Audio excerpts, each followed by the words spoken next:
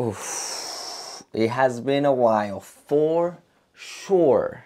It's been about two to three weeks the last time I posted on, on my channel and there is a big reason why and that is because I, I think I wasn't satisfied with the content that I've been posting lately.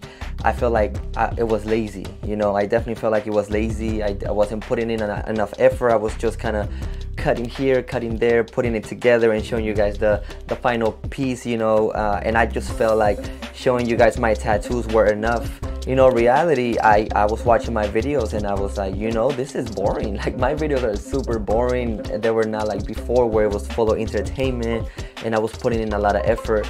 So I took this three weeks to really, you know, sit and look at all my videos and I was like, you know what?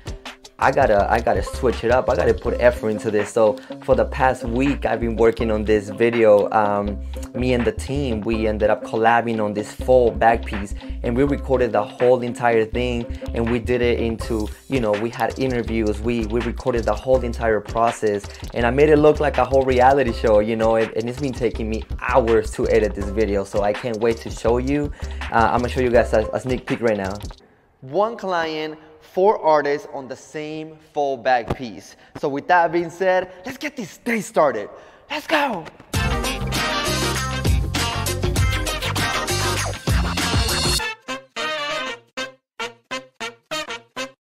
Hey, what's up guys? My name is Danny Felix and I do a little bit of everything. I do music, production, I'm a solo artist, play guitar, accordion, and a bunch of instruments.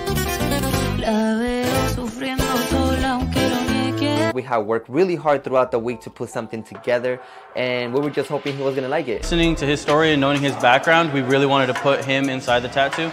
So we, we tried it out and it fit really, really well. Had a set idea and our client came in, you know, he threw us some of his little flavor into it. Everybody in the team has a different style that makes him unique as an artist. As far as for me, what makes me unique as an artist is that I use a lot of true grays, a lot of contrast, and a lot of texture, and that's gonna give the piece so much more depth, and it's gonna stand out and pop.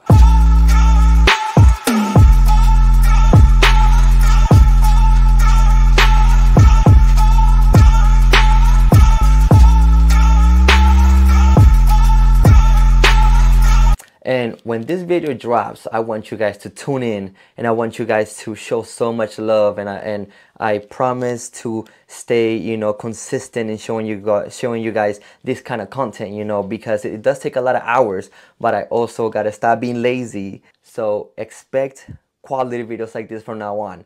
As far as today, I'm gonna show you guys a time lapse that I did. I really love this piece, but I thought I had lost the footage, but I didn't.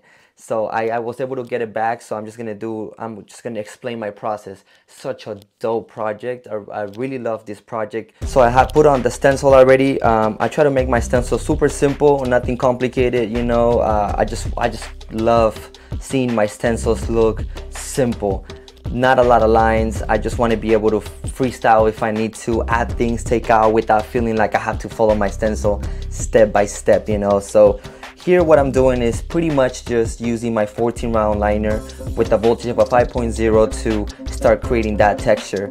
And what I'm doing here, I started mixing my brown and my tangerine orange from World Famous. Slowly started transitioning into the kind of more like a turquoise kind of bluish color to create that tone on the bottom of the sea to make it look like it's, it's a little bit, you know, deeper into the ocean. It's all about the depth in this piece, so I kept using my 14 round liner uh, because I feel comfortable with it and I feel like it was giving me the texture that I was looking for.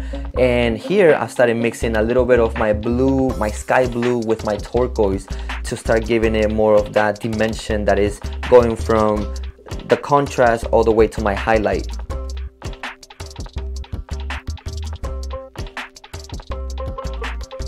I slowly started outlining the turtle, the, tur the turtle because I, I was starting to lose my stencil a little bit. But what I did is I grabbed my brown and I outlined it with my brown because I didn't want black in it. I thought it was gonna make it look super cartoonish. So then uh, I went back to my sky blue, mixing it with my turquoise. The green that I'm using, I did not specifically pick one out. All I did is I looked at all my greens without looking at the label or what kind of green it was. I just looked at it, put it next to the picture and I was like, yep, that's the one. And I pour it in my ink cap and that's all I did. As far as a lot of artists that I've seen do color, they have a whole bunch of ink caps out. They mix so many colors together and they use a rinse cup.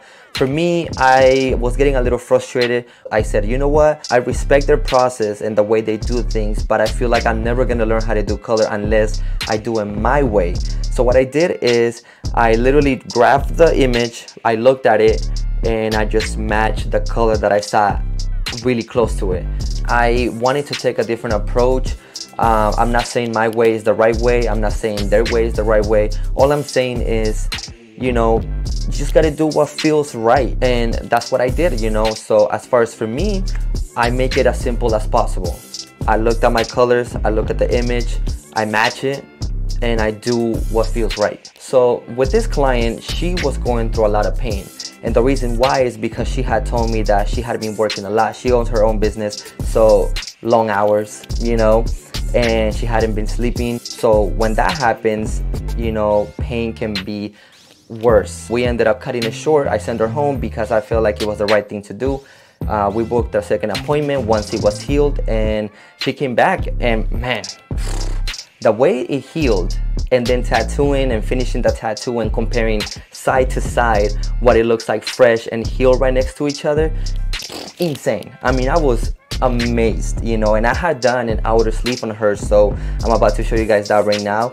It's been a few months now and it still looks like it's fresh. So as you can see in this image where you see the rocks on the on the side here with the scuba diver um, compared to the bottom i mean they look almost like it was done the same day, you know, but the bottom is healed, the top is fresh, and the way it healed is just amazing, you know. I'm, I'm super satisfied with the way it looks.